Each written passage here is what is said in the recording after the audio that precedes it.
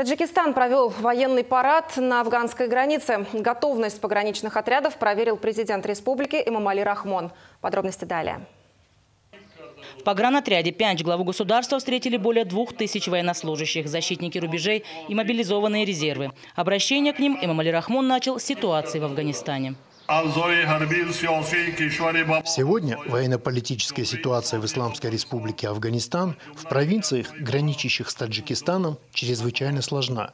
Она требует от каждого служащего вооруженных сил, особенно офицеров и солдат, охраняющих границы, бдительности, высокой ответственности и готовности.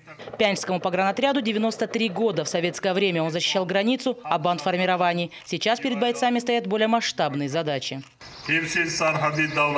Государственная граница между Таджикистаном и Афганистаном очень важна не только для нашей страны, но и для стран Содружества и Европейского Союза как буферная зона.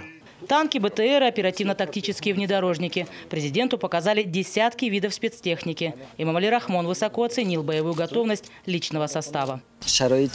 Условия службы очень хорошие. У солдат, у офицеров все есть. Мы благодарны президенту. Я хочу сказать молодежи Таджикистана, чтобы приходили, как мы, в армию, чтобы защищать свои исконные земли. Служба в армии воспитывает мужчин. Еще одну выставку посвятили сельхоздостижениям пограничников. Яблоки виноград, помидоры и огурцы, морковь и лук, другие культуры. Вся продукция идет на стол защитников рубежей.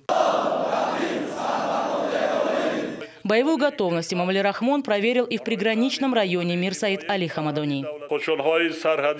Пограничные войска, как и другие части вооруженных сил, создавались в очень болезненный и сложный период истории нашей страны, без какой-либо материальной технической базы. Сегодня они представляют собой оснащенную и надежную силу защиты границ стран.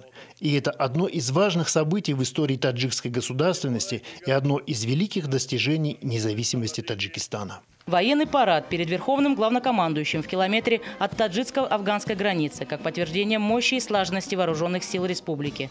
Именно об этом говорил глава государства. Зарина Абдуназарова, Абубакар Файзулоев, Бахтувар Бахрулузода, Парвис Манонов. Мир 24.